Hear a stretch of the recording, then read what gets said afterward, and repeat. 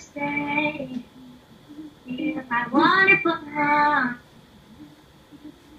I've been waiting for so long.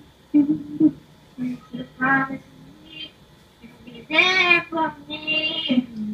And maybe this time that you'll spend some time with us. I see the